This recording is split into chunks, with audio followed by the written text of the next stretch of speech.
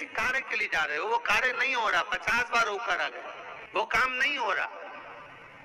शिव महापुराण कहती है, लाल चंदन, कौन सा चंदन?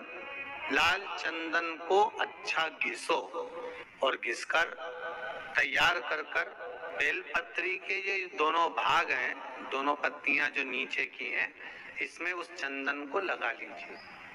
अगर किसी से आपको पैसा लेना है, वो नहीं दे रहा या कोई काम है, या जॉब है, या नौकरी है, या उसके लिए, या कोई विद्याध्ययन का कोई कार्य है, कोई स्कूल में पढ़ाई कर रहे और वो कार्य नहीं हो रहा, पाँच बार, छह बार करके देख लिया, नहीं हो रहा तो ये दोनों पत्तियों पर लाल चंदन लगाओ लाल चंदन लगाने का मतलब ये नहीं कि जरा सी तुम बिंदी लगा दो, लाल चंदन जो घिसा है, उसको पूरी पत्तियों पर अच्छे से फेरना है। उस लाल चंदन को लगा लीजिए।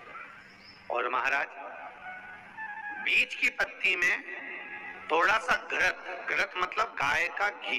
गौ माता के दूध से माखन से निर्मित उस घी को बीच की पत्ती में थोड़ा सा लगा लीजिए। और जो अशोक सुंदरी वाली जगह है, जानते हो ना आप लोग अशोक सुंदरी की जगह?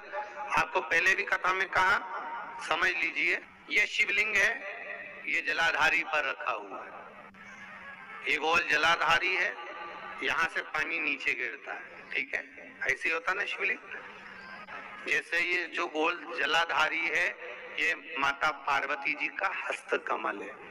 शिवलिंग रखा है, ये शंकर जी का स्वरूप है।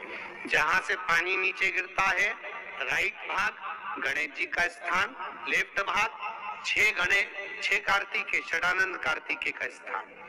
जहाँ शिवलिंग का जहाँ पानी जाता है, उसके बीच में एक मोटी सी लाइन होती है।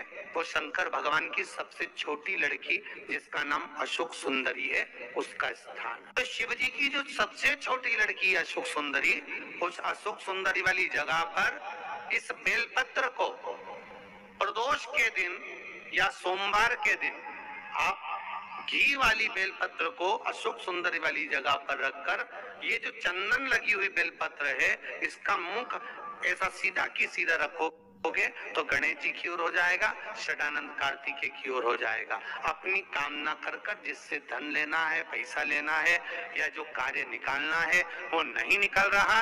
बहुत प्रयास कर लिया, अदालत में पचास बार हो जाए, काम नहीं हो रहा। तब इस बेलपत्र का प्रयोग करना, बाबा से विनती करना और विनती कर कर वापिस सजाना केवल दो प्रदोष या दो सोमवार कर लीजिए, बाबा आपकी मनोकामना पूर्ण कर देगा। उस बेलपत्र का सुख प्राप्त